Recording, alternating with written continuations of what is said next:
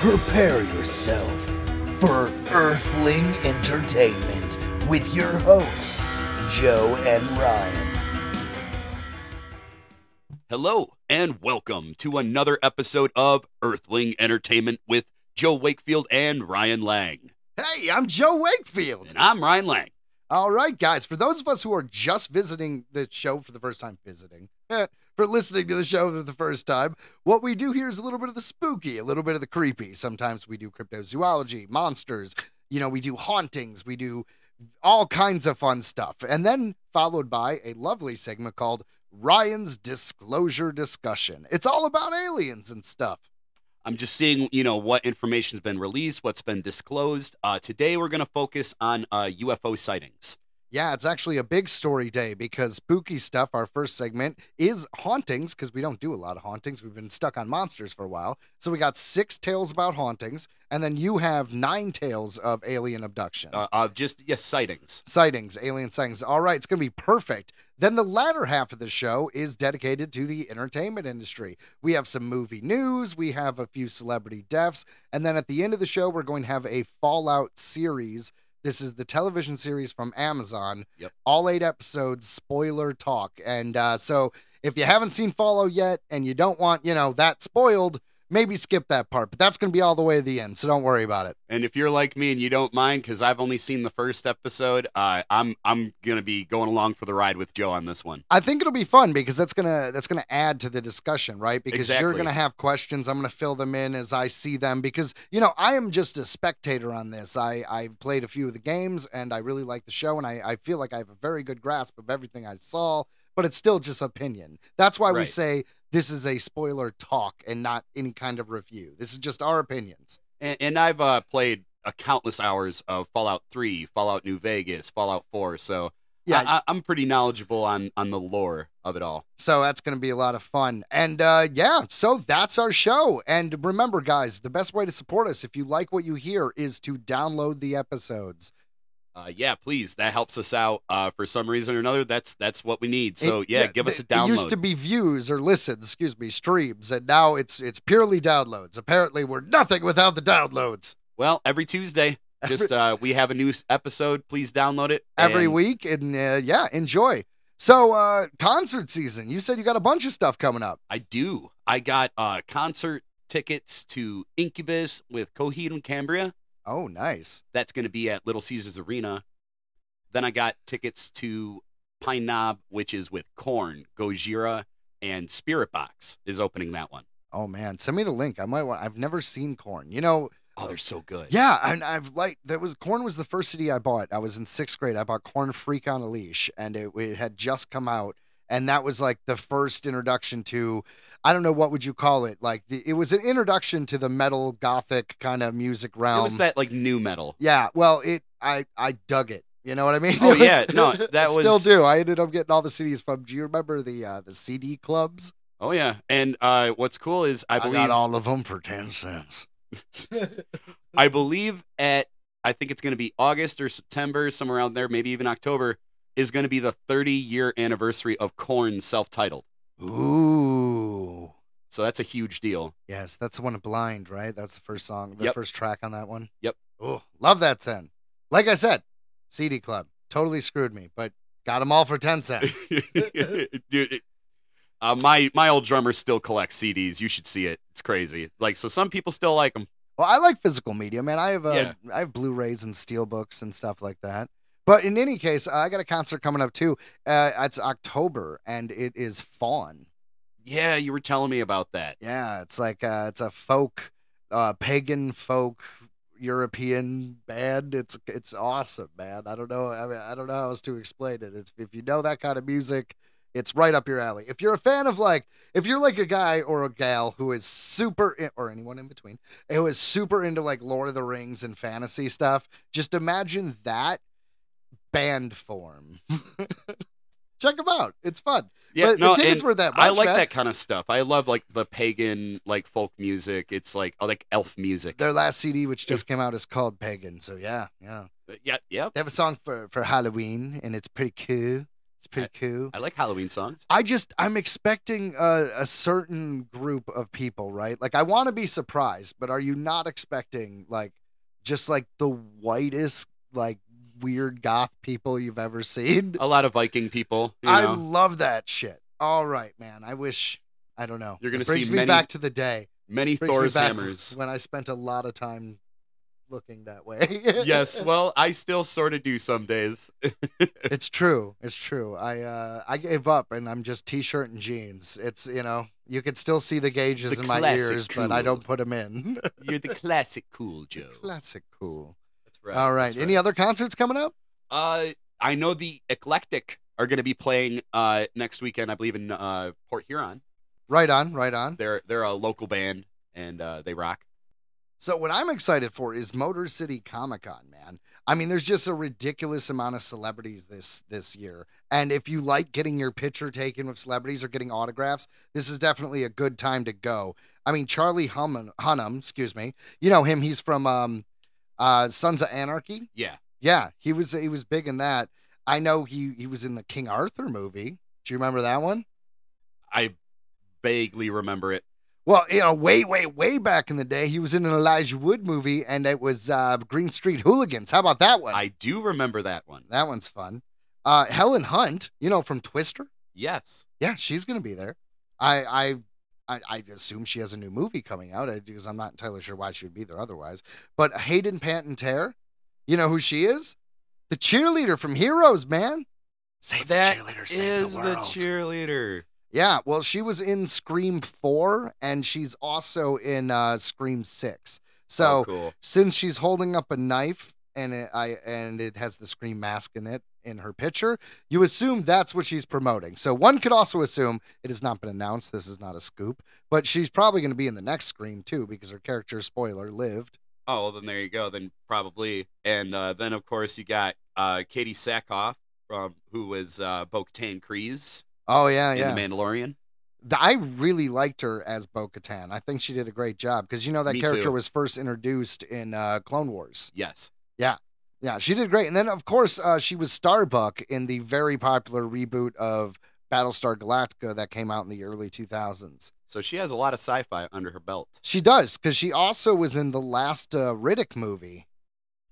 I knew I recognized her from something else. You're yeah, right. Yeah, she's been in a lot of stuff. She's really good.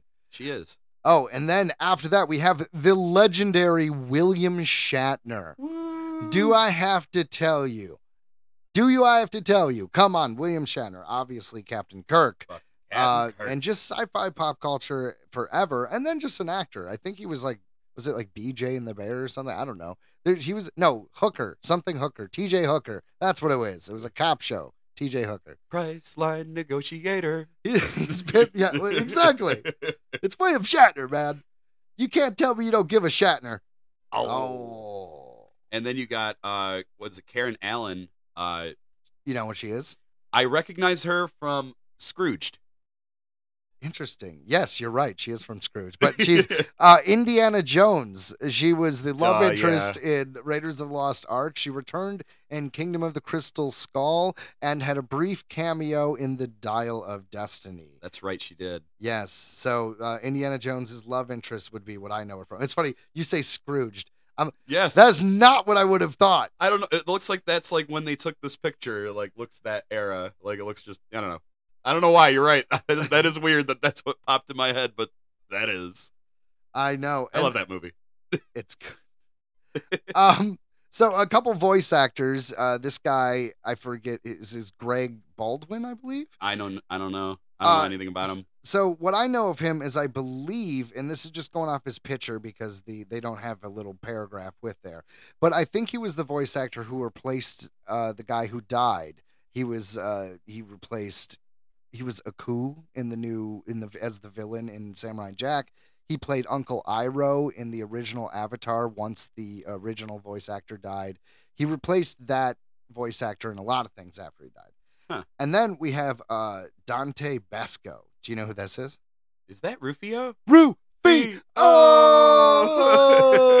It is Rufio, but he is also an accomplished actor and voice actor. He also was in Avatar.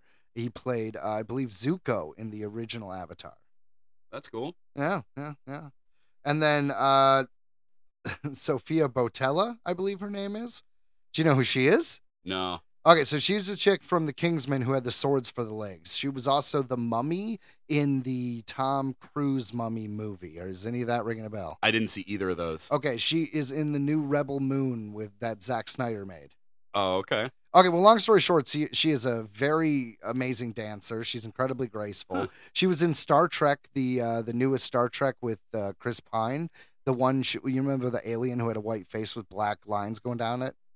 I think so. Yeah. She was the main alien. She was kind of cool. She rode the Oh, motorcycle. So she in the third movie? yes. Yes. Yeah. I loved those movies. Okay. Well, that one is her. Okay. I- Yes. I, know her work. Excellent.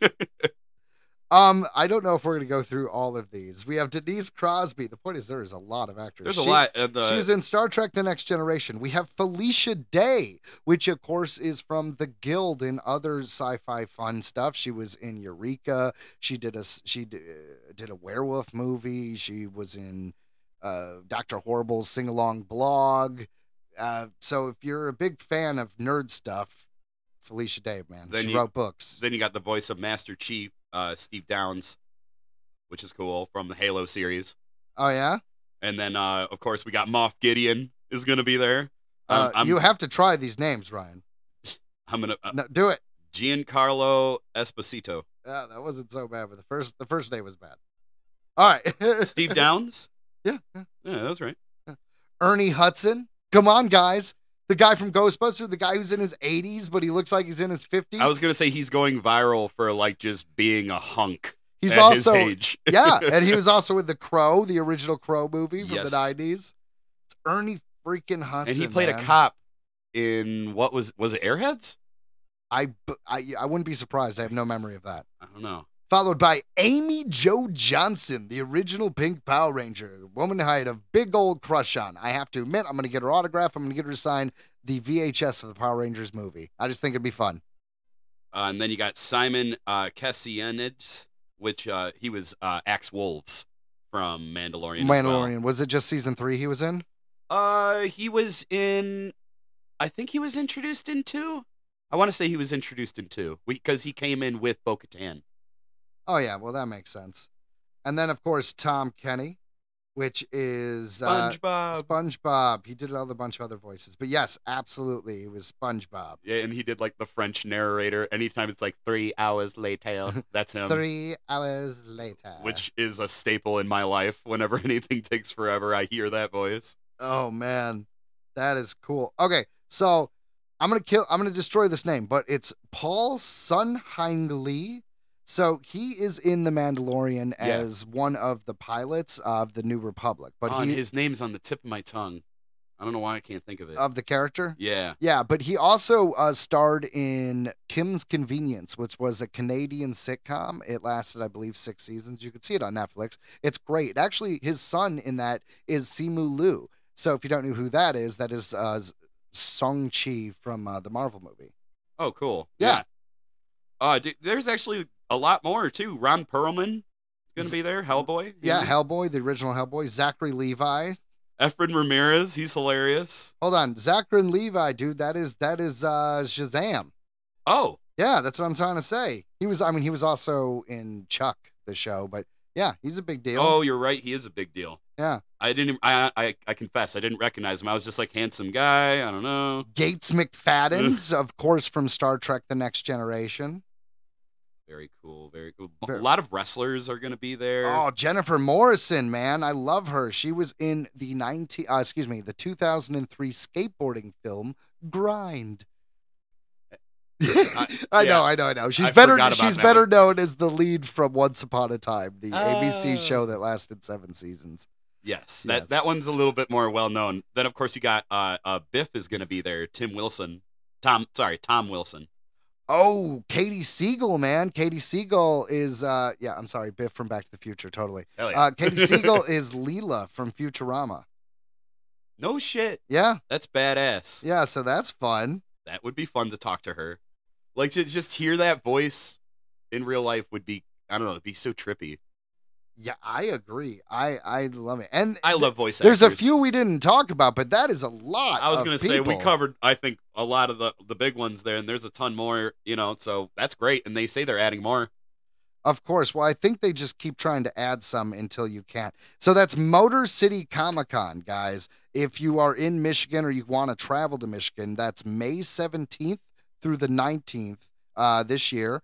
And it is in Novi, Michigan. Uh, you know, so check it out. And we'll be there. So if you see us, come say hi. Yeah, to be clear, we don't have a booth or anything. We're just going to be walking around. But if you happen to recognize us, hey, what's up? Yeah, just what's up? All right, guys. So we're going to jump into our first section, which is Spooky stuff.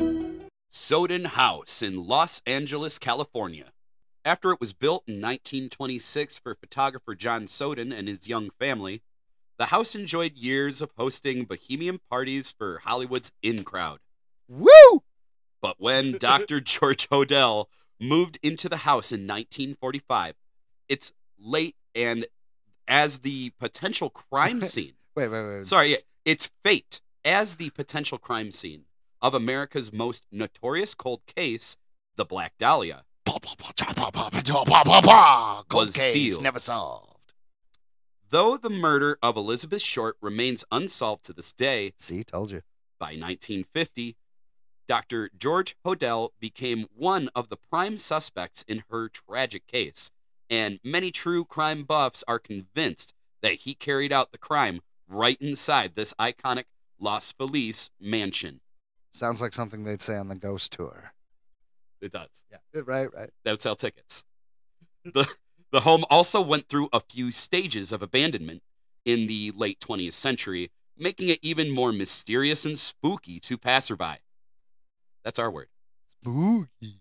According to Steve Hodel, former occupant, retired LAPD investigator, and son of Dr. Hodel, In case you needed more info about this guy, like he credible they- is what we're saying. Credible. full send. Several onlookers have noted its haunting trappings, according to Steve. In the 1970s, the hotel housekeeper returned to the Sowden house and informed the then current owner this is a house of evil. Hold on. This is a house of evil. The You know, lady- I the thought lady that- from the Poltergeist. Yeah, exactly. I was gonna say that was Zelda from Poltergeist. Yes, totally. I, I never knew her name. Thank you. This house is clean. Motherfuckers. Motherfuckers. And on another occasion, Edmund Tesk pointed to the house, saying, It's an evil place. Artists, philosophers, accountants, and politicians all And played one and paid there. Murders happen there. It's an evil place. Evil. Don't go in that house. Oh, you don't want to go down that road. During the same era, Dr. Hodel's daughter Tamar went inside the home and claimed to see the spirit of a young woman in the basement. Yeah, it is creepy. Years later, in 2016, Ghost Adventures host Zak Bagans investigated the Sowden house with Tamar's daughter, Fauna, who claimed to see the exact same spirit her mother did. It sucks they don't have it on film because if they claim to see it, that means like they obviously didn't get the proof. That makes sense though, right? Like I imagine a lot of these ghost hunters would go on these adventures and they would just what if they experienced stuff, but it's like, no, we, we did just it didn't show up on film or a recording. There was a giant floating skull and I I, you know, got lifted off the ground and thrown 30 feet. It was straight out of poltergeist. It looked like weird th- see three 3D puppets from Jim Henson that were see-through with 80s of graphics. But nope, didn't get any of it. Nothing. Nope, no recording. Sorry. I mean, that's a classic trope, right? You see like fucked up shit, and you're like, oh my god, and you go and you check the footage, and it's like nothing. I mean, that would be almost more believable to me than just being like, look, check it out. And you hear static and it's like, shh, shh. Do you hear that? It said my grandma's name. I like spirit boxes, though. I would like to fuck around with one. I think they're interesting. Fair enough. All right, moving on. That too. That is our first chilling ghost story. Check out our chilling ghost story number two right now.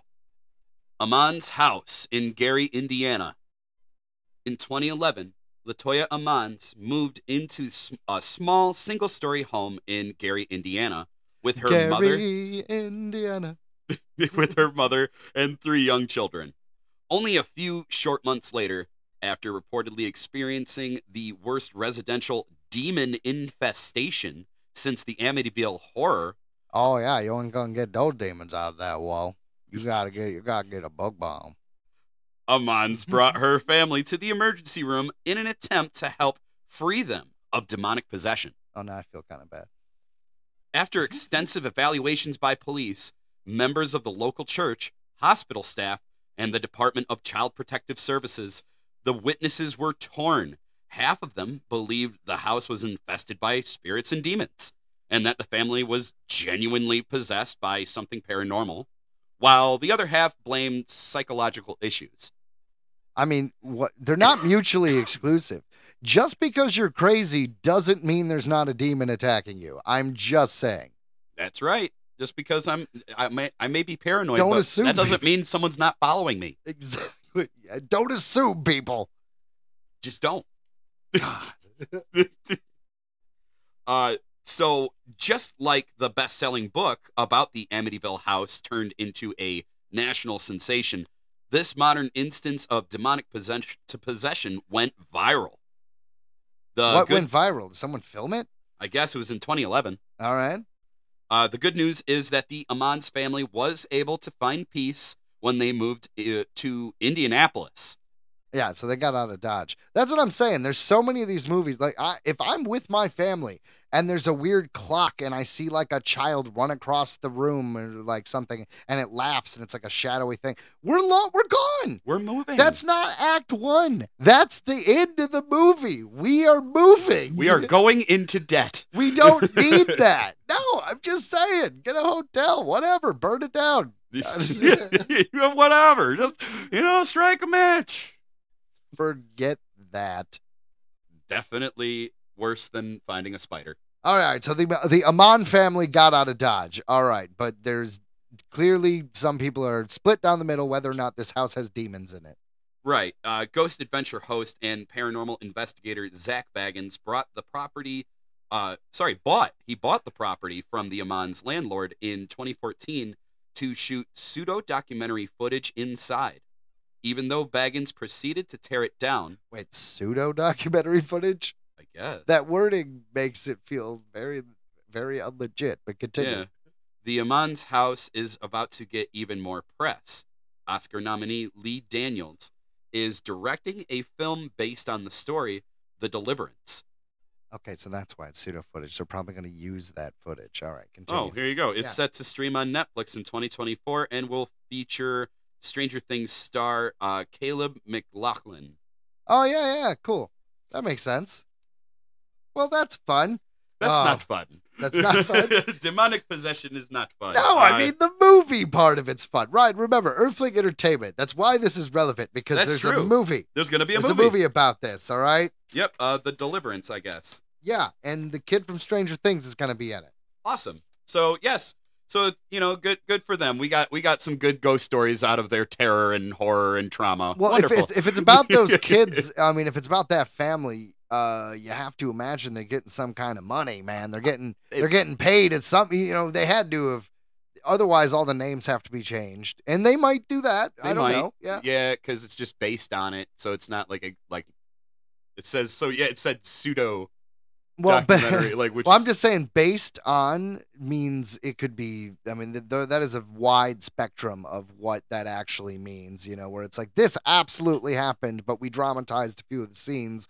Versus, we made people up and put them in there for drama. Hollywood. Hollywood. God, I love Hollywood. Ready? Anyways, here we go. Ghost story number three. Yeah, it is three, right? Yeah. Number three.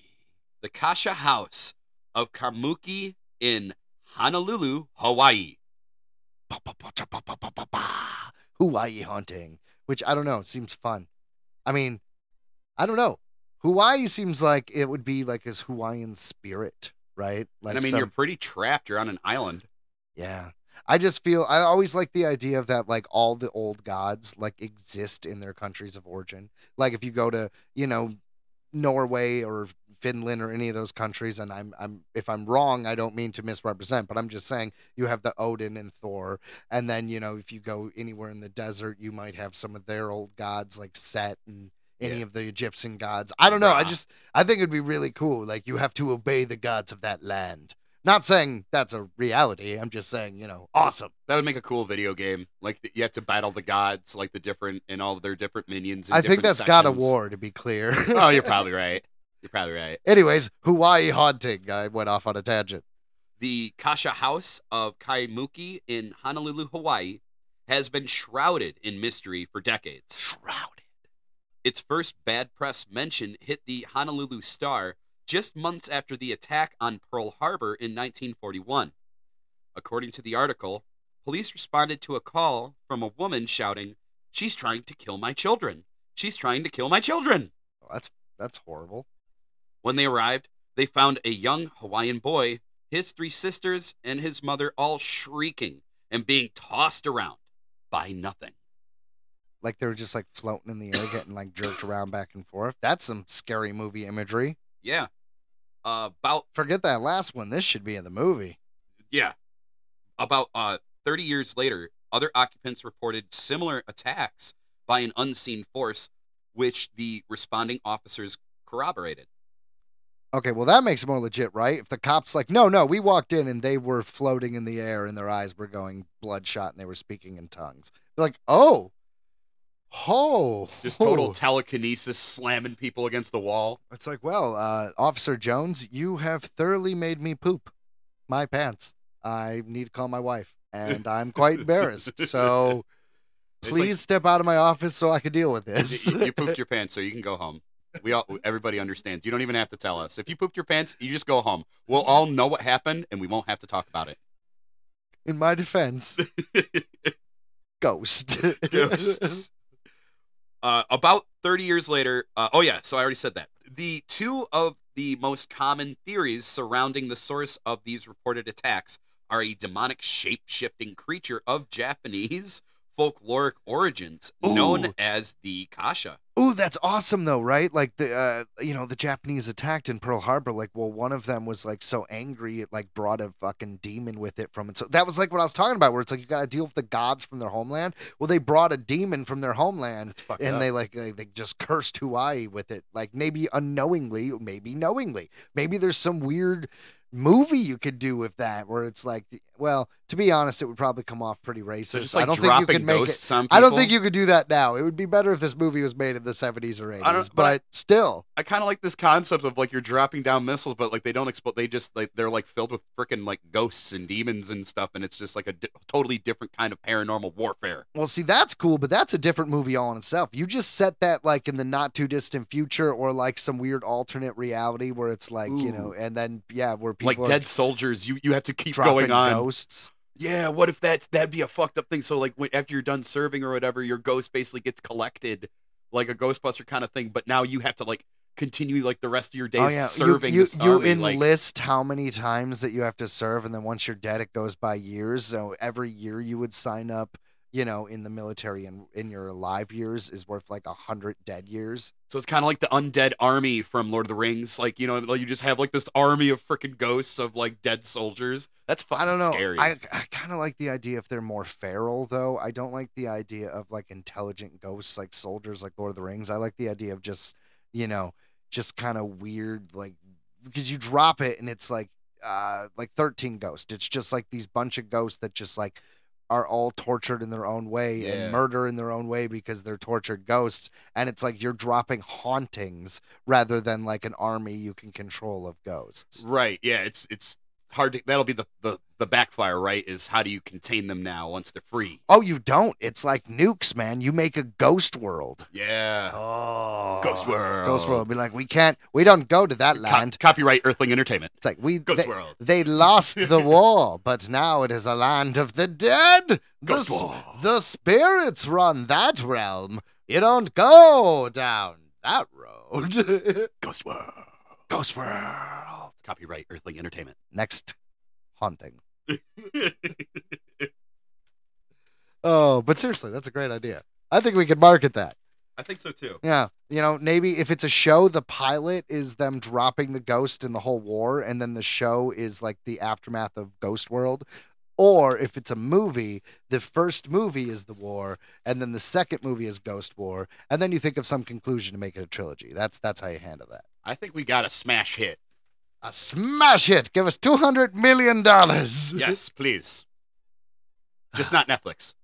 well, I oh, I mean, Netflix. We if we get a Netflix deal, you got to get all movies at made at the same time as like a package deal. So that way you at least get to tell your story whether that does good or not. You know, it's like oh well, you got the three movies.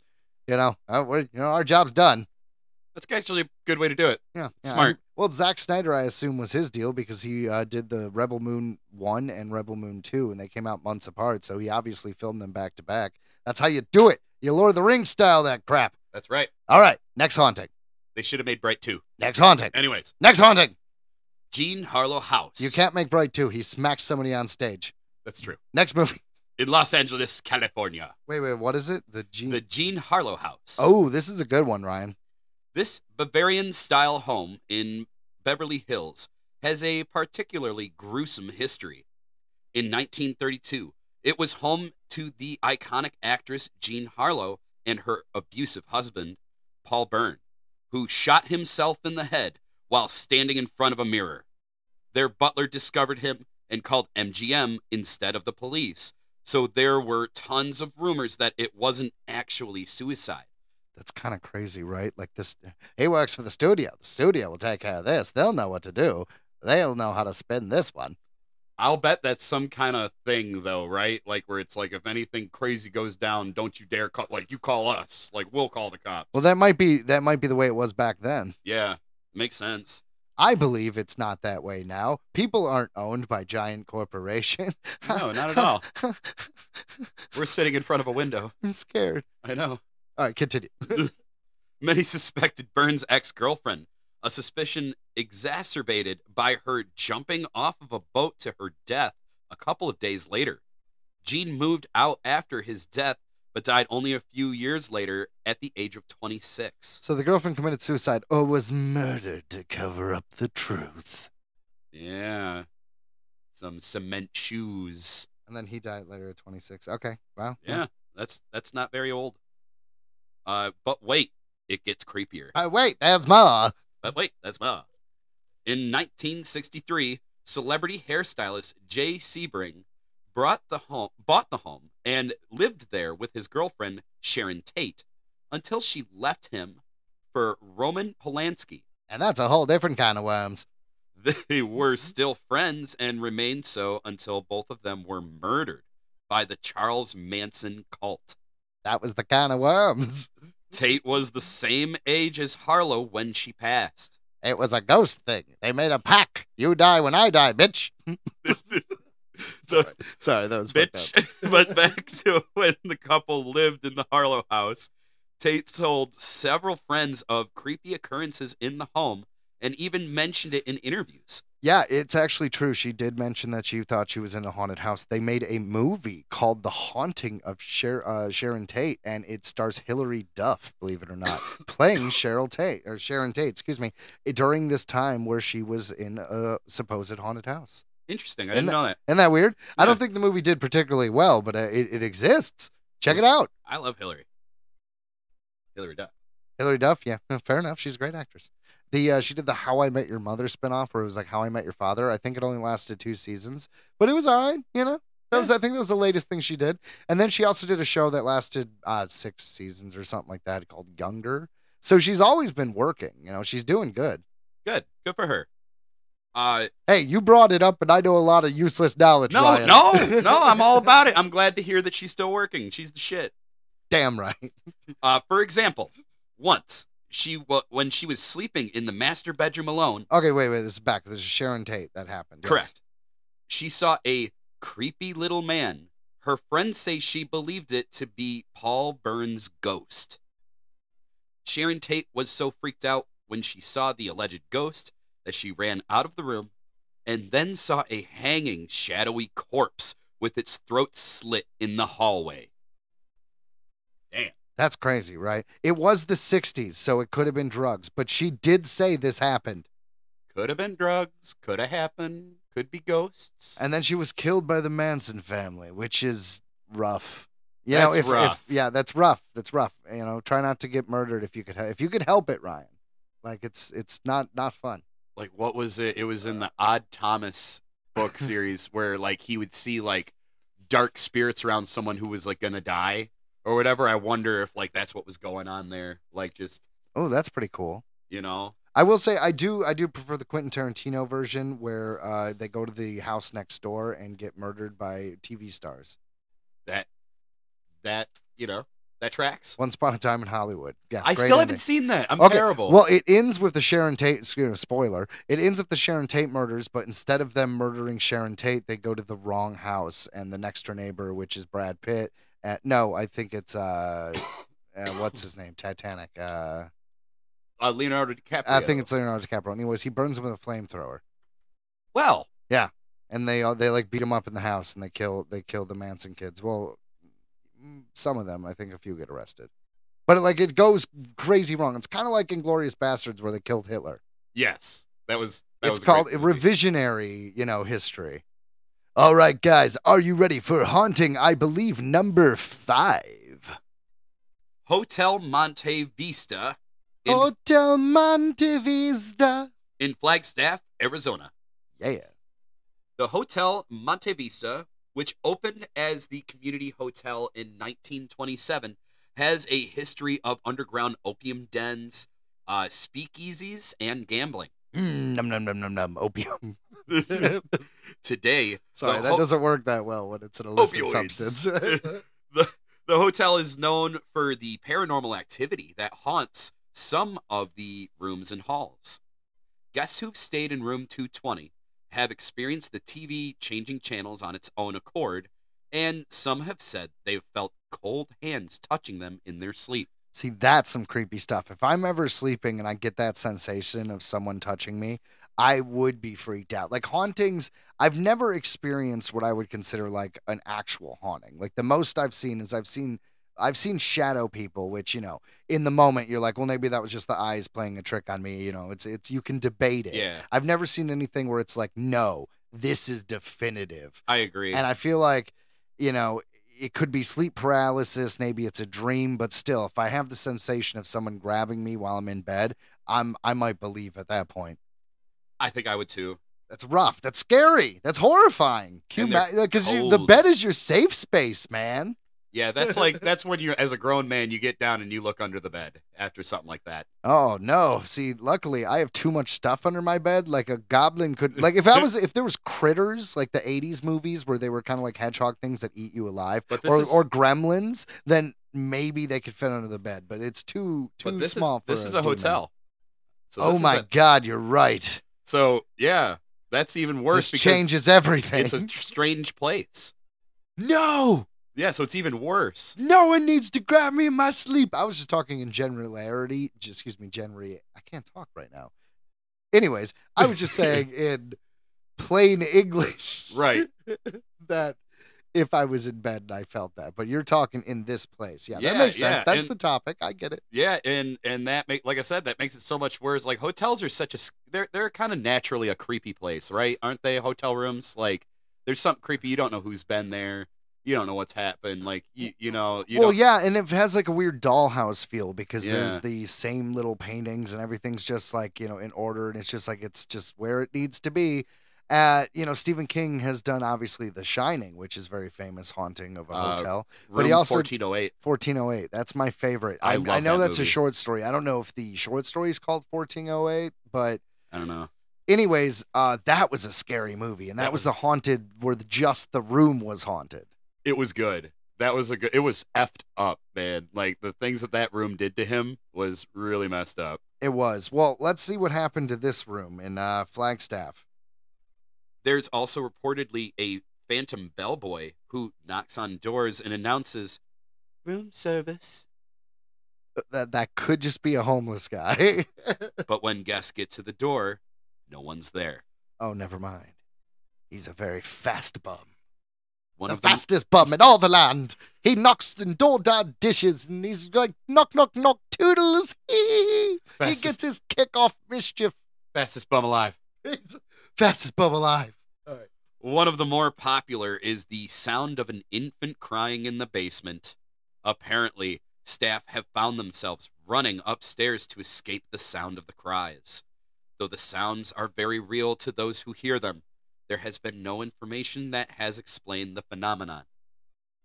Yeah, I got nothing to that. That's horrifying. Creepy kids, man.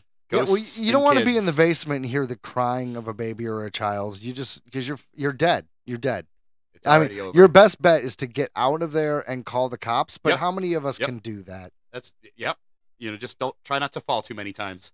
Ugh, creepy.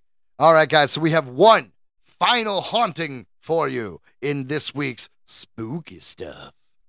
The Crescent Hotel in Eureka Springs, Arkansas. Another hotel, people. Strap in. In 1937, millionaire inventor Norman G. Baker posed as a doctor and turned the hotel into a hospital. Posed as a doctor. That doesn't seem shady at all. Not at all. Baker had a fetish for the color purple.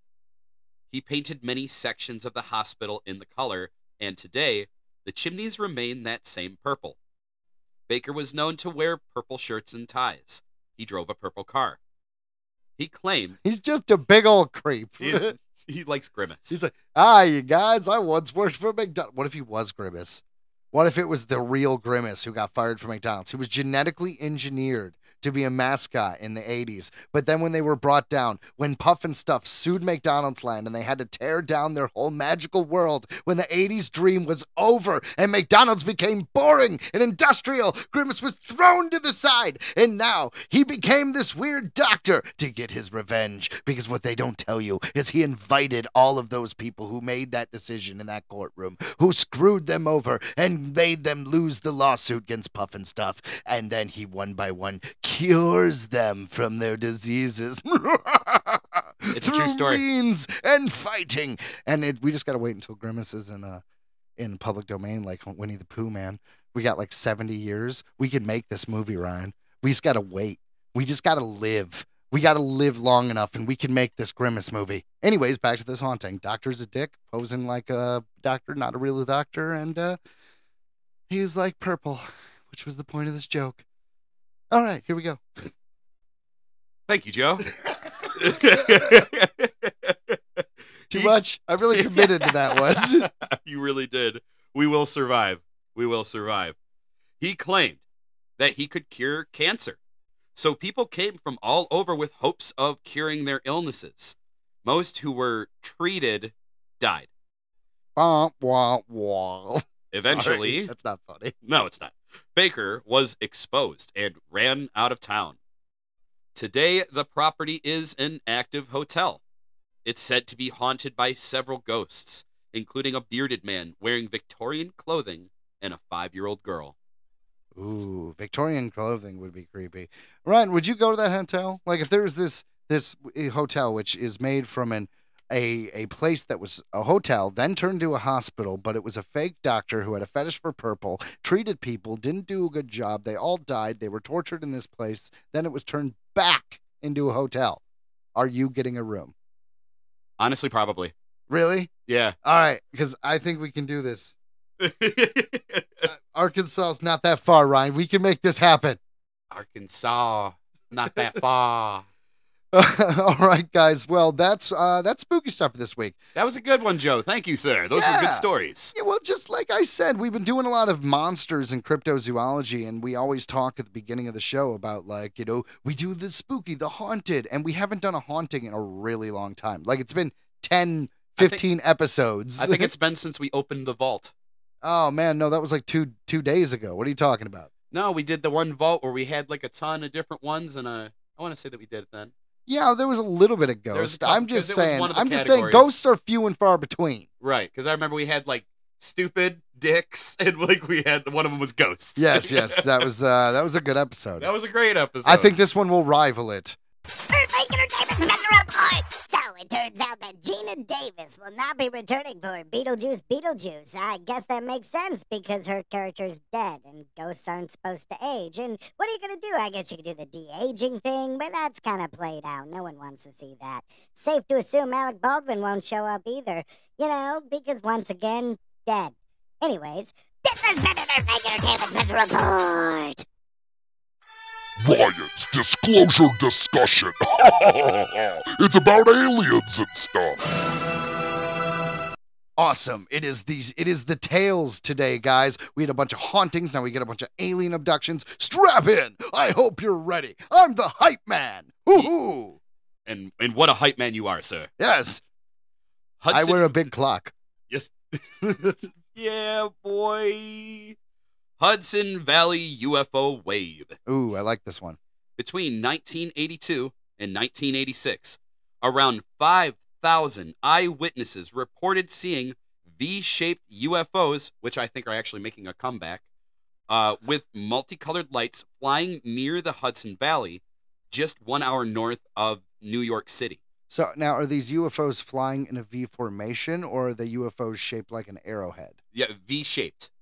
Like like like straight up like a like a wide V. Excellent. Continue. The first sighting was made on New Year's Eve 1982 by a retired police officer in Kent, New York. The former officer initially thought that he was observing an airplane. When the craft passed above his home, he realized it was moving far too slowly and quietly to be an airplane. While most of the eyewitnesses described a slow moving V shaped UFO, other reports said the object appeared to be circular and capable of moving at fantastic speeds or disappearing altogether. During one sighting, the UFO hovered about 30 feet above the Indian Point nuclear plant. The security supervisor was considering shooting the craft down before it disappeared from sight.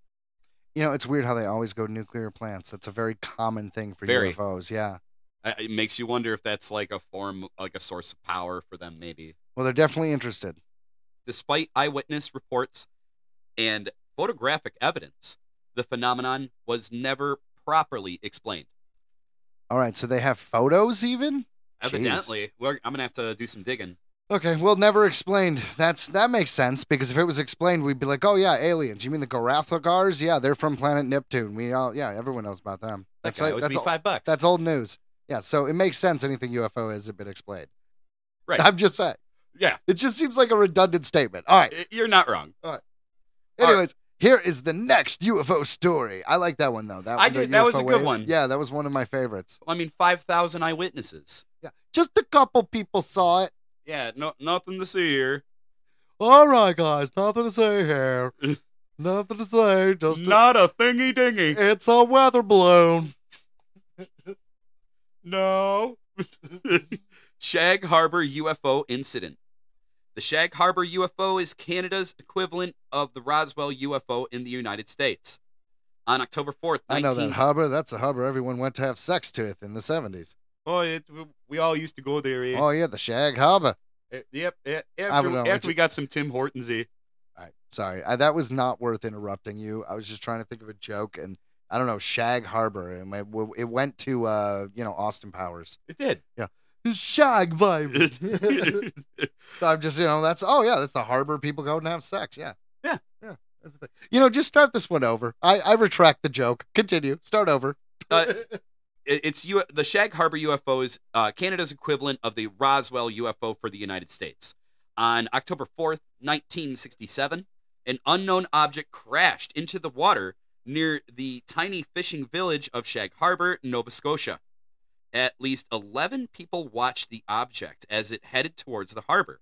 Multiple witnesses heard a whistling sound and a loud bang as it crashed into the water.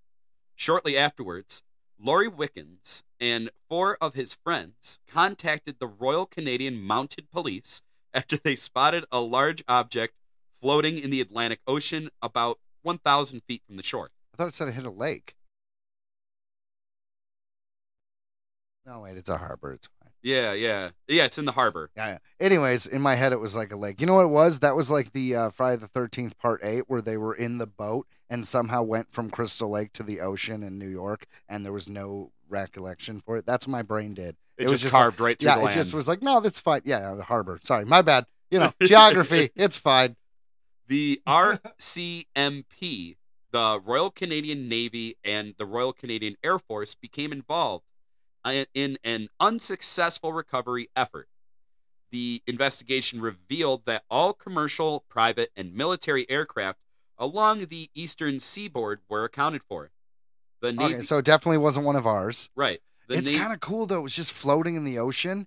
I mean, I don't know. They probably didn't have diving equipment, but it's just it's you you gotta check that out if you could, right? Right. Uh, it says, uh, so they were all there. The Navy combed the seafloor of the Gulf of Maine, uh, but found no trace of the object. That sucks. I mean, it makes sense, right? It would sink, or it would fly away, or whatever. Or go to the rest of their colony under the ocean. Oh, ba ba ba ba ja, ba ba ba ba. What what is it? USOs? Yes. Yes, unidentified submergical objects. Submergical. Submergical. Hey But- man, I'm tired. All right, my kid was up last night. Ah, He's good. teething. Hey, all right. Just Ah, because I- what are You're you good. doing? What are you doing? Making fun. I had Anyways. Hey, you know, I stumble myself, my my friend. Uh, but okay, so I got another one here. Uh, this one's called the Westall UFO. Uh, around 11 a.m. on April 6, 1966. There's a lot of UFO sightings back in the 60s, it seems. Yeah, it was the big UFO boom, man? There was like waves of sightings, which means that it's either real and the aliens do come in waves, or maybe they've updated their techniques, or it was, uh, you know, some of it is hysteria. I mean, you know, a lot of these are credible, and then a lot of these are just nonsense. That's what's that's the fun thing is picking out the oh well that guy is like a cop and this is a real witness, or there's a thousand witnesses versus there was one guy named Ted who who saw it. No one else did. You know, there's it's I don't know, it's fun. It's a fun story, but yeah, you're right. Some are just more credible than others. Exactly. Uh, so, uh, an unexplained flying object flew around Westall High School in Melbourne, Australia. More than 200 students and several teachers watched the UFO as it descended into a nearby field. Well, you know this is credible. See, this one is true because you never get that many people who are that age to like have their story corroborate with if it was fake. You get all your classmates to agree to say the same thing. That's impossible. And I want to say I saw a documentary that included this, and they interviewed a lot of the people that were there. Very cool. Eyewitnesses watched the craft hovering around the school for approximately 20 minutes. The object was described as being a gray saucer-shaped object that classic, was about classic. that was about twice the size of a family car. That seems pretty small. It seems about average. Twice the size of a family car? Seems about average for Is a little UFO. Little Okay. guys. Uh, yeah, okay, well, they're either small stature, like these aliens are only a foot big, or interstellar travel is not hard for them because they're like, how could you store everything you need in like your family car? You'd have to go through a wormhole or something, Ryan. You can't just travel that far with no supplies. This is madness. If you believe Bob Lazar, he was able to inspect some of these small UFOs, and he said there was literally just a couple frickin' chairs and a spot below the deck where the anti gravity device went, and like a small spot above the deck, but like there was no bathrooms, there was no nothing. It was all powered by their brain. Another idea is that they're uh, they're not necess- they're either not organic or they're like basically engineered. They're they're drones. They're Right. like what we would send. We would send a drone, right? Well, maybe these aliens, the grays as we see them, are just alien versions of drones. It is a it is a thought, and that actually is a people talk about the mantis type aliens, the mantis Yeah. grays, and how they might be in charge, and the ones that are the classic bulbous head grays are like like you know helper ants. Like think of an ant colony, right? Like they're the they're the workers. So and they got like a hive mind almost kind of perhaps it's a theory. You know, there's a lot of fun ones. because they never really talk. They don't really look like they can, you know, really eat or anything. Like any kind of report on that, like you've never seen them. They don't have ears, you know. Yeah, look up the mantis grays. It's a it's a very interesting story, the, a theory that some abductees and experiencers have reported. uh, jumping uh, back into the Westall UFO, uh, there were were no commercial, private, or Royal Australian Air Force planes in that area at the time. Once again, not one of ours. It was suggested that a weather balloon may have been responsible for the confusion. Fuck, what do we say? I don't know. Weather balloon. Are you serious? Word for the Americans. I d- no, we could do better than that. What? What's better, Terry? What? Next week. Uh, there was a weather balloon. Wah, wah, wah, wah. and swamp gas. And swamp gas. but eyewitnesses quickly dismissed these explanations. The Australian skeptic suggested that the object was an experimental military craft similar to the nylon target drogues that were towed by RAAF planes at the time. I mean, that's that's very possible. It's possible. But the Air Force reported that they were not in the airspace at the time of this incident. Well, fair enough. But They if it was lied. classified, they might they, might they wouldn't tell you, right? Yeah, they would have lied, definitely. Uh, so I got one more here Anchorage, Alaska, on November 18th, 1986. A Japanese Boeing 747 cargo He says he's got one more here. To be clear, we have one, two, three, Oh, shit. four. We have like five more guys. Strap in. Strap in. All right, start this one over. Didn't mean to interrupt. You're fine. Uh, it's Anchorage, Alaska, on not November 18th, 1986. A Japanese Boeing 747 cargo aircraft was followed for nearly an hour by an unidentified flying object. The crew witnessed two objects flying while flying over eastern Alaska. As the objects got closer to the plane, the cabin was lit up and filled with a strange heat. As the two objects flew away, yeah, a much larger disc shaped craft emerged from the darkness and started to follow the 747.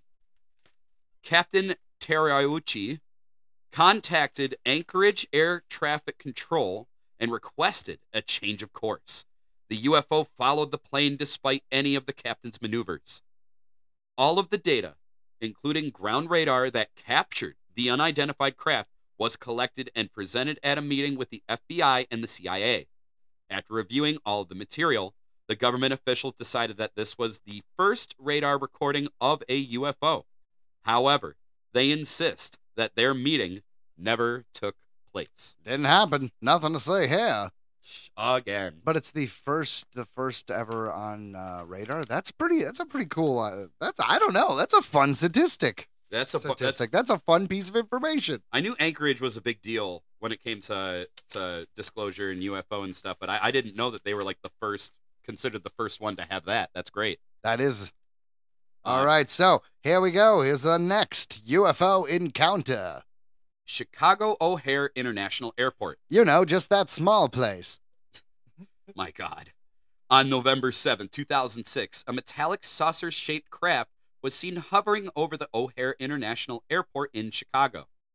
John Hilkovich from Chicago Tribune reportedly said, It is John Hilkovich. I thought you were just like John Malkovich. Uh, he wasn't there. No, No, it, it, was John Hilkovich. It is Hilkovich. Yeah, weird. John Hilkovich.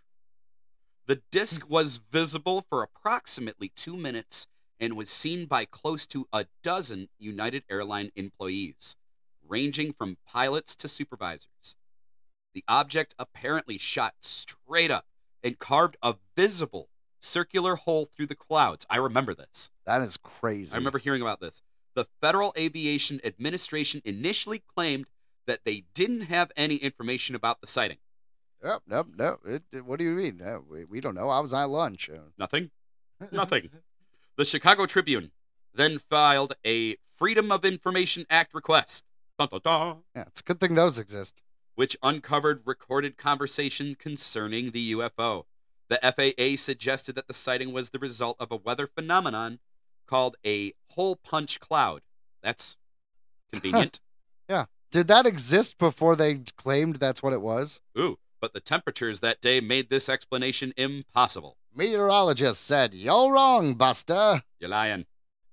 Then the FAA said that the airport lights were responsible for the sighting, but the lights hadn't been turned on yet. A proper investigation was never conducted. Never mind why they didn't turn on their lights.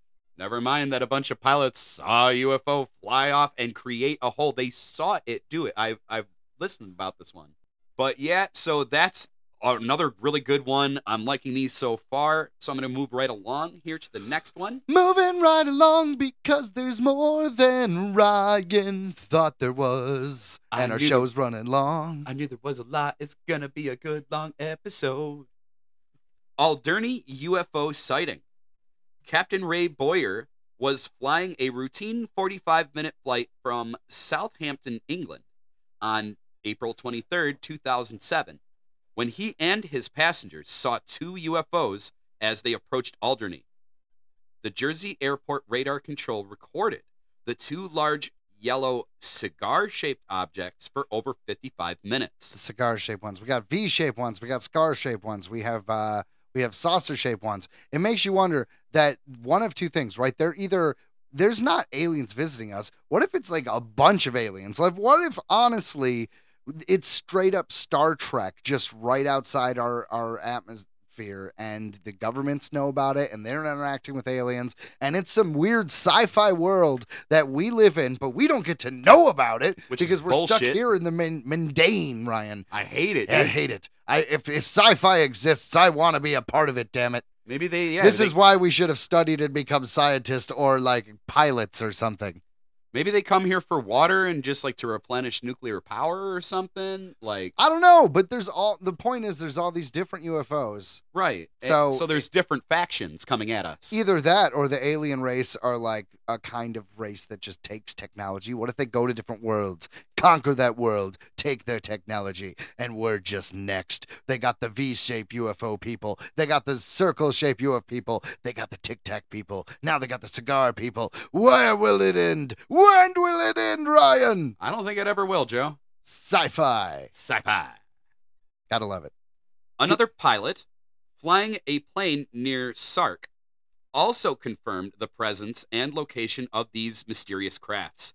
BBC Radio Guer- Guernsey, the Guernsey, sorry, Guernsey, also reported that visitors in a hotel in Sark had noticed and inquired about the two bright yellow objects in the sky. Hey, uh, what's uh, what's what's that uh thing up there? That's a good question. Like, I don't know. I run a fucking hotel. I'm not like in charge of the sky. housekeeping. During an address to the U.S. the National Press Club.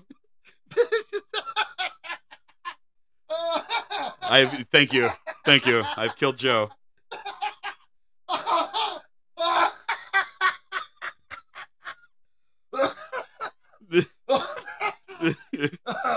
Excuse okay, I killed Joe, guys. I've killed Joe. Oh my god.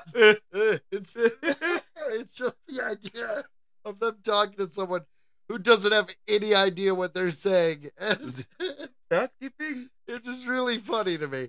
Mike, you did that, and a whole scene went through my head. And let me tell you, Ryan, if you can't entertain yourself, then what's the point? That Uh, was that was genius. You don't even know.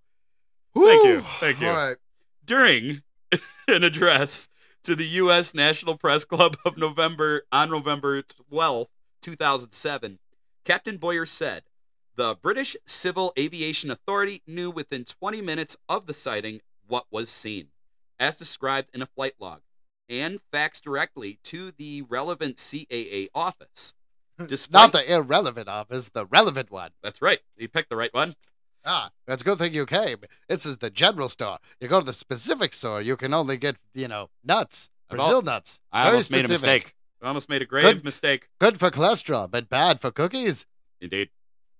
Despite the pilot's openness about the incident, the cooperation of the military, and countless eyewitness reports from passengers and people on the ground, the incident remains a complete mystery. We just don't know. And we never will. We never will. All right, guys, we got two left. No, three? We have three left for you, so I hope you're ready. Here's our next alien UFO encounter. The Belgian UFO wave. Between November of 1989 and April of 1990, thousands of people reported uh, reportedly witnessed triangular UFOs flying over various parts of Belgium. Oh yeah, those are the loopties. I know about those. That's a good model. I'm just saying, if they're if they're not scavenger race and they are all different races, you gotta have names. And I know of the Greys, I know of the Nordics. Uh, what do we got here? We have the Reptilians. Yep. What you know? And I'm just saying, there's got to be a robot one because there's always an AI version. Right. Yeah. So I made one up, a Lipti. Figure out what it is. Maybe that's an insectoid. I don't know. I don't know. Tune in next week to find out. On multiple occasions, the Belgian officials even tracked these objects using radar.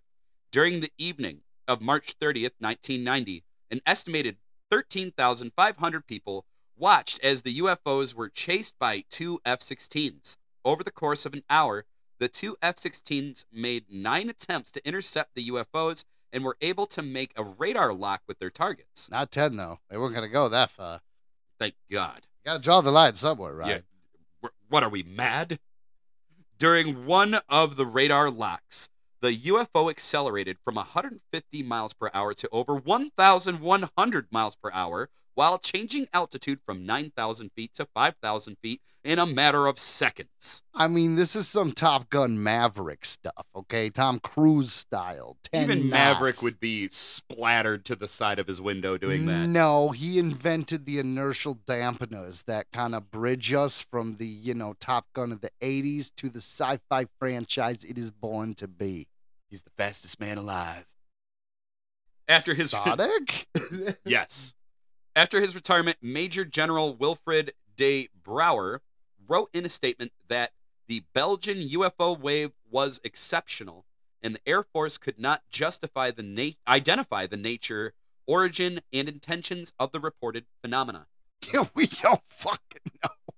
The Belgian uh, objects have never been explained. The Belgian objects have never been explained. Yeah. Still, Well, once again, I mean, most most things at UFO have not been explained. Otherwise, we would be, you know, shaking hands with aliens. right. And I'm ready for that day. I am too. I'm What a ready. fancy day that would be. That would be a wonderful effing day. Like, I don't know. I mean, well, it would be. I mean, here's the thing. It depends because if they were able to get to us before we can get to them, then that means they have greater technology than us. And at that point, it really depends on their intention. It is rough, but the most things in our world are kind of like conquer and take over if you have better technology. Think of the American Indians when we came uh, west, the European came west and took it over. Think about any time in history. We find a tribe of this untouched nature living world and we destroy them with technology and modern day life. So, if these aliens show up and uh, they are any kind of hostile, we're pretty screwed. yeah, Yeah, especially if they're meat eaters, because there is a chance that they would eat us because there is a lot of us. There's what, four, five, seven billion? There's Yeah. something ridiculous. that's num num num num num. Tasty So- humans. The best we could hope for is, uh, in a, you know, like an ambivalent race that, like, really that they're plant eaters and they're like, no, we're just sci- we we need the Vulcans, man. See, that's why Star Trek worked out in that universe because the Vulcans were peaceful and they're logical. Well, they're not necessarily like peaceful, but they're logical. They're not going to just attack you. They're the point is they're enlightened versus just like V, the mini series with the reptilians that are just like mm, meat. I would rather hang out with the Vulcans. I think. Yeah, they, I don't think they could take a joke though. That would be the only thing. It's very stale at parties. Yeah, yeah, but but you know, Spock's the man though. But he's half human. He is half human. Yeah, and in not all iterations, but my favorite iteration, Winona Ryder's his mom. Nice. Yeah, yeah. I'm into that. You know the Kelvin timeline that J.J. Abrams created. Yes. Like I said, I love those movies. Well, there's going to be one more, a fourth Star Trek movie, and it's going to be the last one, but it is going to have that cast with Chris Pine and all of them. Sadly, uh, obviously, we can't have the gentleman who played Chekhov because he died. Those movies were good. I'm looking forward to that. Yeah, me too. All right. Uh, here we go. Uh, Oh, sadly, we only have two aliens left, right? Yeah, we do. This is the Ah. last two. Last two. Okay. Cash Landrum incident. On December 29th, 1980, Betty Cash, Vicky Landrum, and Colby Landrum saw 23 unidentified helicopters surrounding a huge diamond shaped object that was hovering above the trees.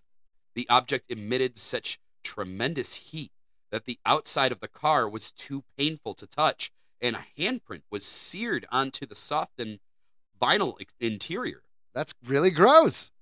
A Dayton police officer, Detective Lamar Walker, and his wife also claimed to have seen helicopters near the same area. After the incident, the group suffered from vomiting, diarrhea, and terrible burning sensations. Yeah, that sounds like radiation. That's not good. Right. Betty Cash developed painful blisters on her skin, lost clumps of her hair, and was unable to walk. A radiologist examined the group and concluded that they were all suffering from secondary damage from ionizing radiation. They sued the US government for 20 million, but the case was dismissed in 1986. Some people still believe that the government covered up its involvement in the incident. This is one of those where I feel like this might be us messing with nuclear power trying to imitate trying to reverse engineer alien technology that we've recovered. That's what I think and it's just a failed experiment. Well, you could be totally right, but there's a lot of uh, you know cosmic radiation and rays and just things that we as a species have never been exposed to because you know we have the atmosphere and the ionosphere and all that stuff. Uh, so you never know. It feels like radiation. Who knows how it would affect things off our planet? Like you say, like I know radiation is like a thousand little tiny bullets that like go through your cells and rip them apart, and that's kind of why you you degrade, for lack of a better word.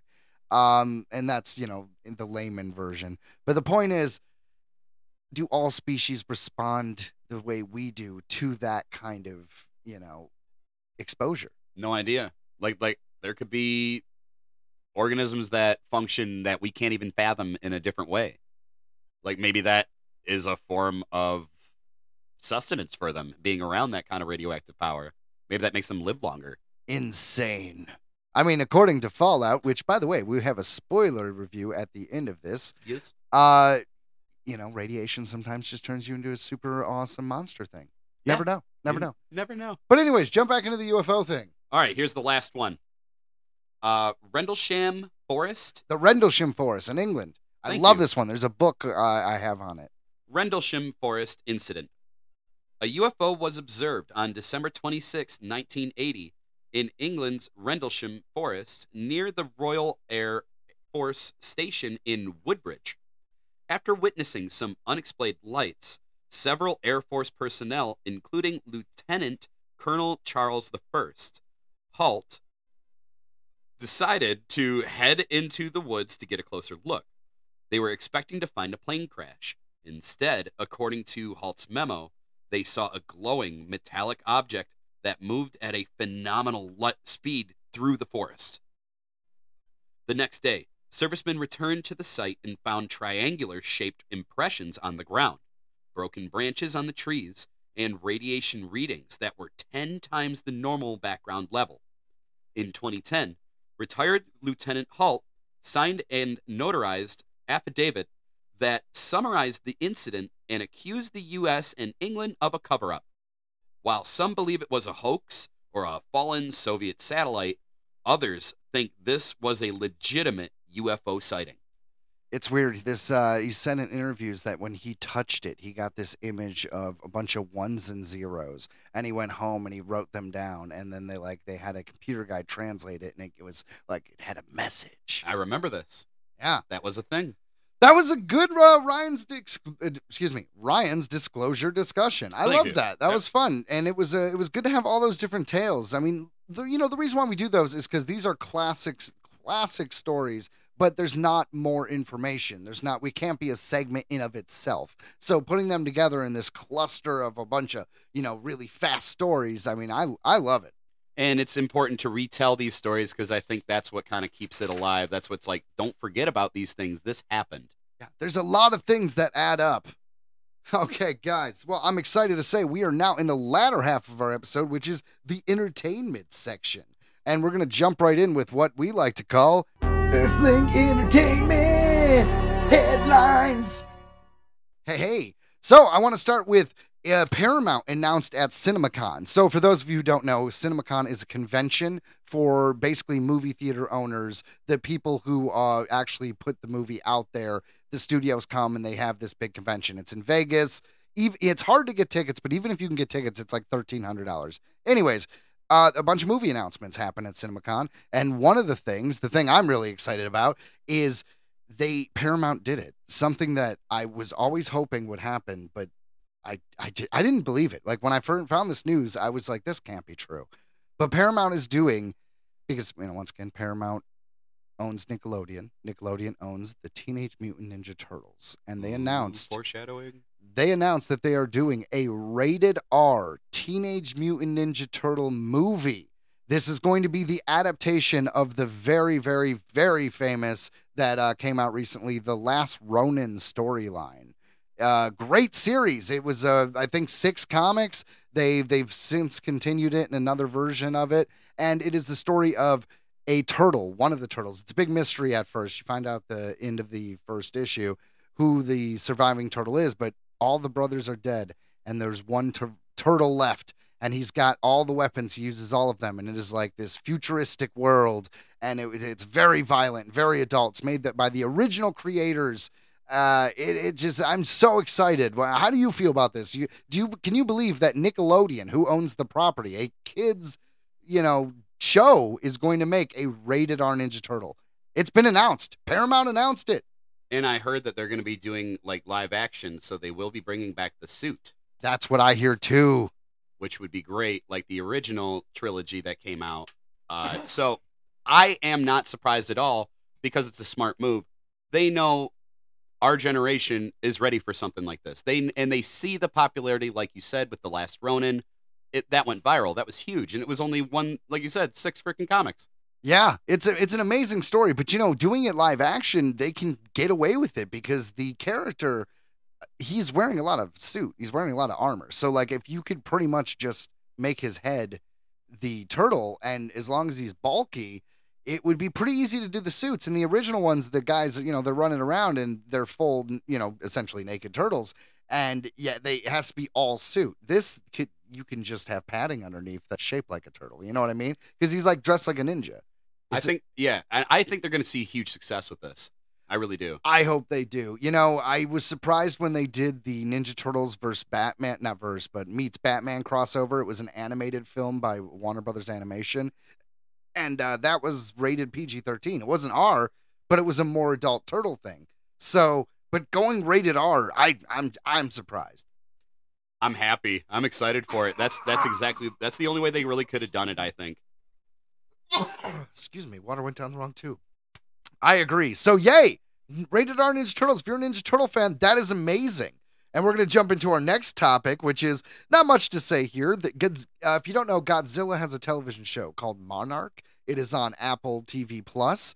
And uh, yeah, it's pretty good. It had Kurt Russell and his son in it, playing the same character in two different timelines. Uh, you know, all in the same universe, but one was in, I believe, like the '60s, and one is nowadays.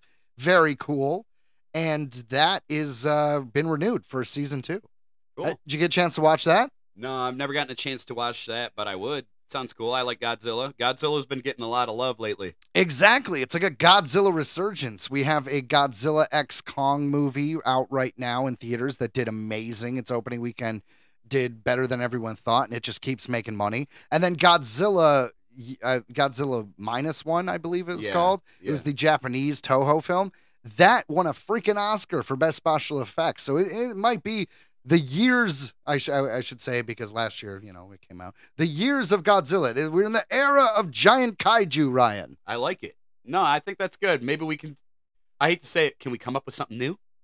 Uh no, Godzilla needs to last forever. Godzilla is like Doctor Who, and uh, it just needs to keep going, man. I agree. Which, by the way, let I don't- continue. But like I said, like you could make something new that's kind of like you know to the same kind of kind of thing. I do hear what you're saying, but giant monsters is kind of a it's its own genre in Japan. I mean, you got to realize they have what Power Rangers is based on was from a show where they fought giant monsters. Yeah. You know what I mean? Like giant monsters are in a lot of things. They have they have their, their original superheroes fought giant monsters. There's Yep. giant robots that fight giant monsters. So what do you mean ma- ma- something new? Do you just want no more Godzilla? Do you want a different kind of giant monster? We Let- can go Cthulhu. Let Godzilla be Godzilla, but yeah, just do something new, like a new like giant monster kind of thing. Like make something up. Well, I, Lovecraft is in public domain, so Cthulhu's up for grabs. I'm just saying. That's why go. South Park could have a Cartman flying around with him, which was amazing. which was amazing. That was the most random ass episode. Anyways, so if you like South Park, you might love the fact that Monarch is renewed for season two by Apple's TV Plus. So, uh, just another bit of news. You know the eclipse last week. Yeah, I'm Yeah. asking you a question. You know the eclipse last week. Did you t- did you turn into a superhero? Uh, not that I am aware of. I don't think so. You didn't get powers. None that I've discovered. Well, you know what they did in 2005 when they had the show Heroes, which originally came out and lasted four seasons, and then was later uh, had kind of a sequel series that lasted one season called Heroes Reborn. You know, uh, Zachary Quintos from you know Spock from the new Star Trek. Yeah. yeah, he, he was he was Sylar. He was the the crazy guy that could cut people's brains open with his mind. Yeah. Save the cheerleaders, save the world. That was a good series. We've talked about it a couple times on the podcast. Which is serendipitous because this is new news. Apparently, they are going to. Uh, it says it's going to be like a reboot of the show. I don't know if that means the last show happened and this is in the same universe, or if we're just going to start it over. But the original creator, Tim Kring, is involved. So you know, it's exciting news if you were a fan of that show. It kind of, I think, it fell off like a lot of people. Season one was obviously the best. Season two, because the writer's strike got killed. Season three, I liked half of it. I liked the latter half. The first half, not so much. The second half, yes. And then season four was pretty good, just okay. yeah. Well, hopefully they see something a little better here. Maybe he's got some new ideas. Oh man. You know, it's other. It's also serendipitous is how we keep bringing up Star Trek this episode because our next bit of news is Star Trek related again. So, do you know the animated show Star Trek Lower Decks? I do not. Uh, it's fun. It's a sci- it's a sci-fi comedy. It is kind of like Rick and Morty animation, and it, was. It Okay, I have seen clips of Yeah. something like that. yeah. Yeah. it keeps canon in the Star Trek world. Like it absolutely happens, but it is it takes like a fun tongue in cheek without breaking. It doesn't break the universe. You know what I mean? They they don't cross the line, but it's good. If Cool. you're a Star Trek fan, most people have accepted it. Some people are still holdouts because they're like, this isn't Star Trek. Anyways, it's been pretty popular, and it has a season five coming up, and a, it is the last. They're they're ending it. It's not canceled. They're gonna like have the show come to a close. That's good. Yeah, it says yeah, it will conclude with season five.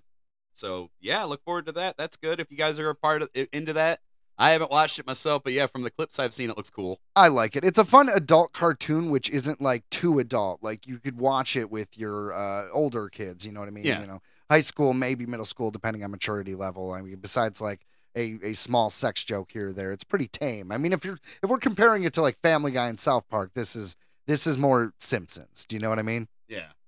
But uh, I enjoyed that a lot. And uh, by the way, just in a little bit of Star Trek news, also the show that is out right now with Pike. It's called Star Trek: Brave New Worlds. I say Pike because it's Captain Pike. It, he is the uh, the guy before Kirk. Anyways, that has been renewed for season four as well. All right, guys. Neato. Yeah, and then this the mo- what is some of the most exciting news next to Ninja Turtles this week is Shadow the Hedgehog is it was teased at the end of the Sonic the Hedgehog movie. And we've all been wondering who will play Shadow the Hedgehog. A lot of people believed it was going to be Hayden Christensen, Hmm. you know, the Canadian man who was Darth Vader. You know that character, Yeah. Ryan, that yeah. that gentleman who hates sand. Yes, I do know that gentleman very well. Well, wrong. He is not. Damn. the person who will be playing Shadow the Hedgehog in Sonic the Hedgehog 3 is Keanu Reeves. No, why? Yeah, dude, I like Keanu Reeves. And I like when he voices stuff. Do you know uh he did he was in what is it, Toy Story 4? Yep. He was uh the Canadian Nukem Kaboom or Yeah, something like that. Uh and he just popped up. I know he popped up in a SpongeBob movie. He just popped up and he's like, "Hi, I'm Keanu Reeves." And he was he was even in video games, man. There was the Cyberpunk 2077 or whatever. He was your weird AI guy that you kept seeing. And people made mods so you could have sex with him. And it was actually brought to his attention on a talk show, and he thought it was awesome. Well, if you're gonna be objectified, that is such a fun way to be objectified. Like, could you imagine? Like, Can I imagine what having sex with Keanu this Reeves? is it. Not particularly. I do- but I- I can imagine. Let me tell you, having someone be able to virtually have sex with me that would be that might be awkward. Actually, once again, back to the visiting of porn star at the convention. You're like, Here, will you sign this picture? I just think you give the best blowjobs on camera. Yeah, okay, like- that's creepy. How could you not be creeped out by your fans? Gotta have like rubber gloves on as you're signing everything. Like, yeah, my God, Oh, everything's rough. sticky. yeah, yeah. yeah. Anyways, I don't know how I got into that tangent. So Keanu Reeves It's gonna, got to be Shadow the Hedgehog. I'm excited because we also have Jim Carrey back. I was gonna say Jim Carrey does such a good job in that. Like th- those movies are way better than they should have been. Thank goodness they the studio listened to the internet and fixed Sonic because I have a feeling if they didn't, we probably wouldn't have seen a two or definitely not this one. No, if the looks could have killed this franchise, and but I want to bring back to Jim Carrey real quick. Rumor has it that he gets fat in this one, so he's slowly turning into like what Robotnik would look like. Oh, they could just yeah fit him with a fat suit. It'll work. I, I just think that's funny. I think so too. That's great. He's definitely got the mustache and like the face, the look down. He's amazing.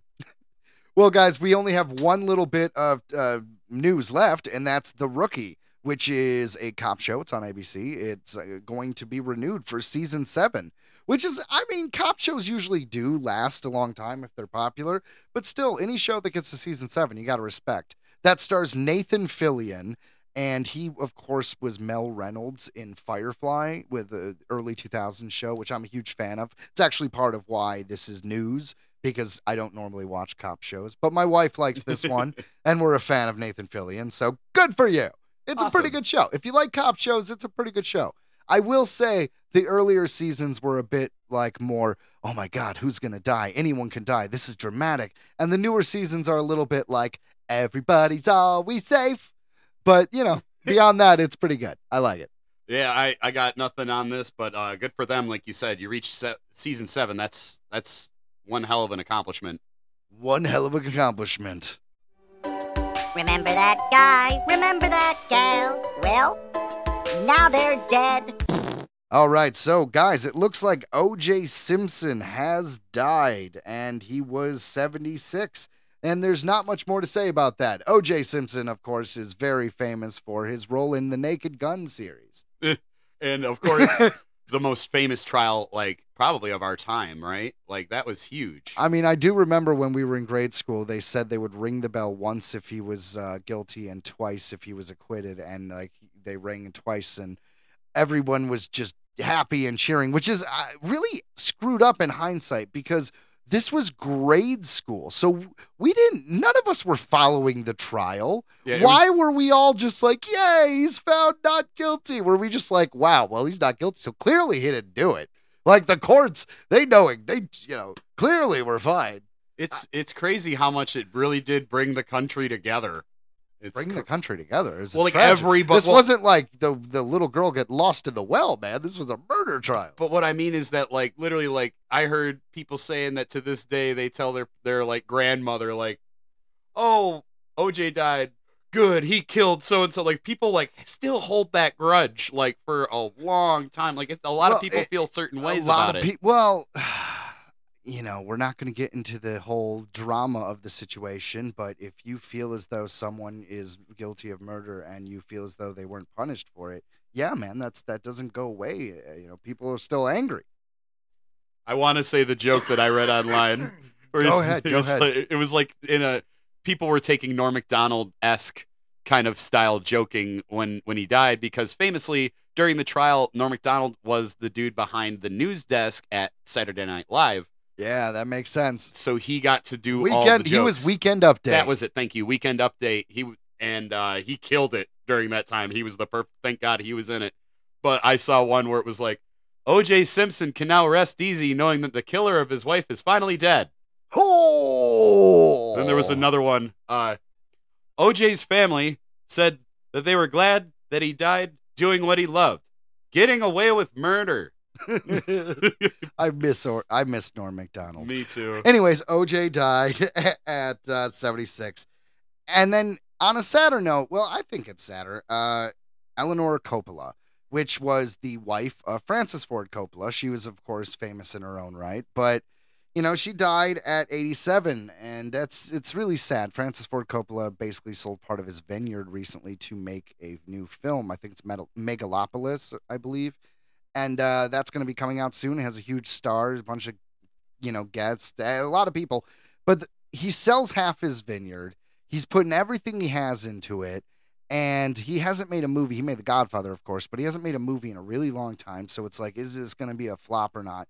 But now his wife is dead, and it's just like, oh man, this is a passion project, and you just lost your wife. I just want this to be a win for you, and it's really sad because, uh, you know, anybody who's happily married, you you'd understand that you'd be pretty lost without the person you're married to. So very sad, you know. Most people die pretty shortly after their after their um, spouses. Yeah. Yeah. You know, I think Stan Lee, it was like a year Mhm. after his wife died. Yeah. Well, anyways, Eleanor Coppola died at 87. It's, you know, good long life, and uh, she will be missed. She will. No, I hope he sees success with this film because he's earned it.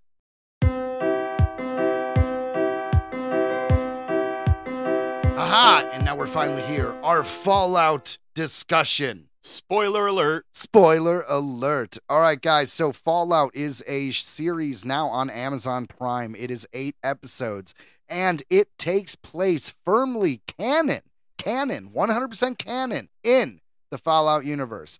That, of course, can change, but as far as I know, that is what they are saying. The uh, the producers, the writers, they said that this almost could be considered a Fallout 5.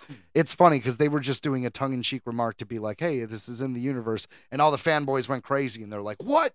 We're not going to get a Fallout 5 because we have a show? And they're like, no, no, no. We're, got, we're saying this story takes place after all the others and it could be considered a Fallout 5. Relax. Right. It, they're still going to do the game five. This is just in that time.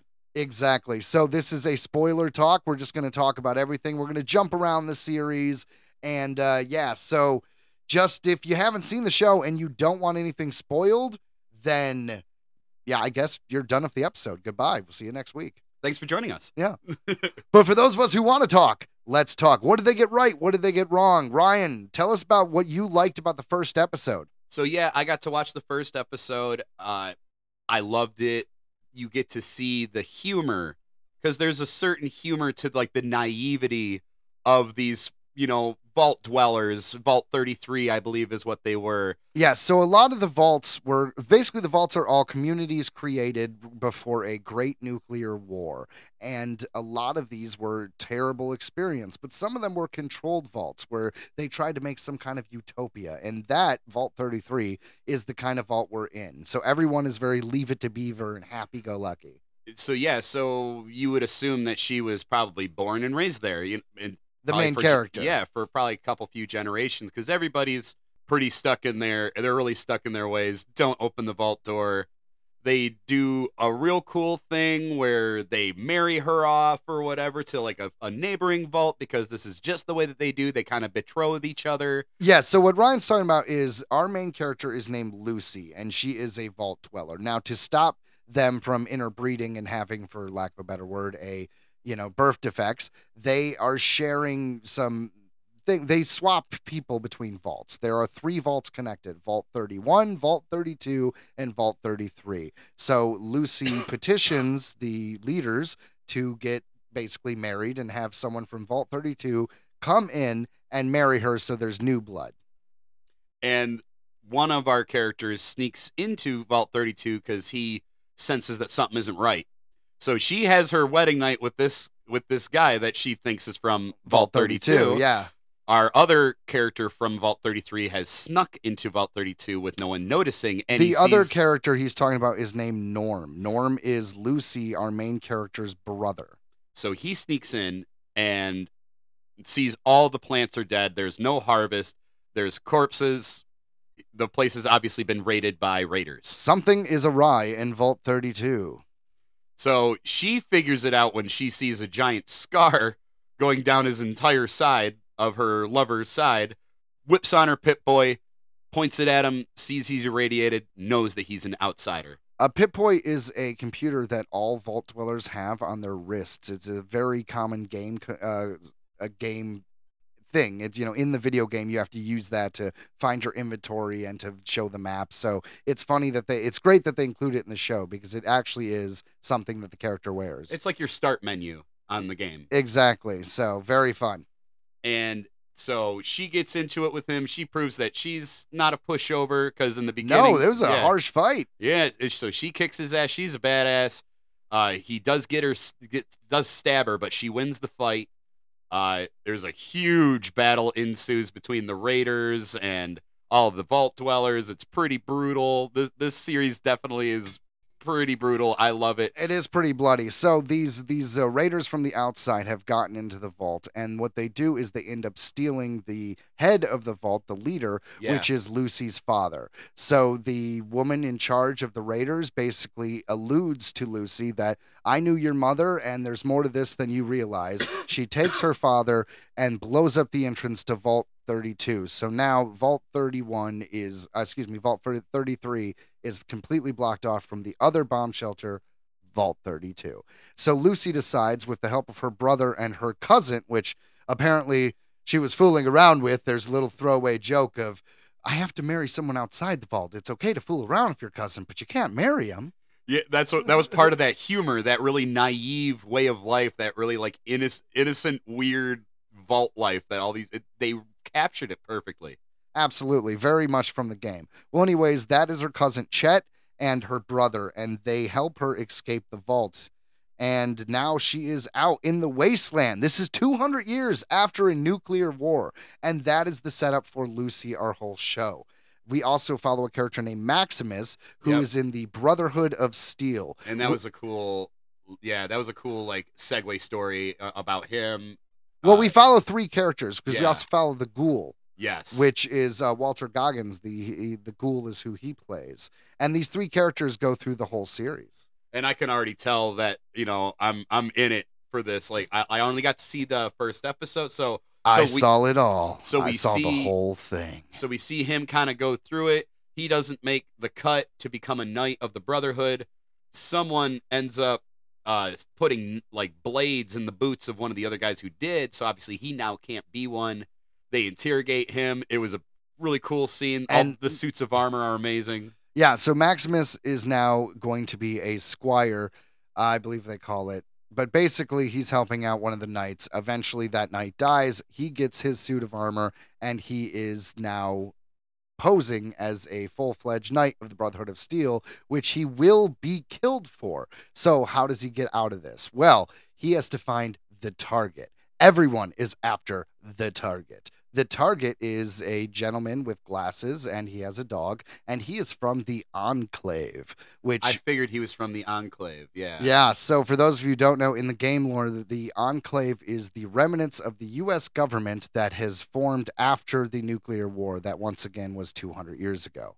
And this man steals proprietary information from the Enclave and escapes. He knows everything about uh, Vault-Tec and Lucy. When they meet, he just talks to Lucy very frankly and explains pretty much, you know, who she is, what her vault's crop is, why that it's a control vault, all this stuff, uh, and is coaxed into basically saying, "Take me to this warlord." Now, the vault dweller Lucy says, "I can't take you to this warlord. I have to find my dad. That is my whole, my whole thing." And he's like, "Okay, well, this warlord is the woman who took your dad." And she's like, "Oh, okay, great." And through a series of events, now she is escorting this man, but he is the target that the Brotherhood of Steel is after. He is also the target that the Ghoul is after. A bounty has gone out because this proprietary information that this man stole from the Enclave could change the power structure of the wasteland. And we follow these through character these three characters throughout the show. There's a bit of a romance that shows up between Lucy and uh, Maximus. The Ghoul is he good guy? Is he bad guy?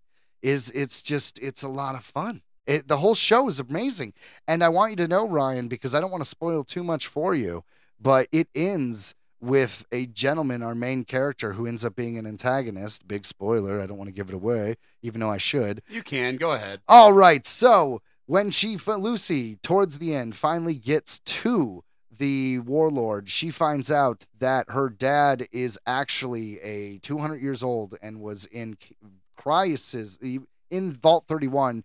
It's all stasis people from Vault-Tec. It's all actual employees and things like that. And he is part of the evil people essentially because the what is revealed in this show is Who dropped the bombs in Fallout? Who did the Great War? Well, they make you think that it's the commies, the Reds versus America, but it turns out Vault-Tec is a company, and Vault-Tec makes money by selling vaults. And there was peace negotiations, and they needed to make sure that people were afraid because if they weren't buying vaults, then they weren't making money. And it turns out that Vault-Tec is, in fact, the ones who dropped the first bombs. The nuclear Mm. war was Vault-Tec. And uh, the people who made that decision, turns out Lucy's dad is one of them. So the warlord says, Your mom was killed because she found this out when she tried to escape, and your dad nuked uh, Shady Pines.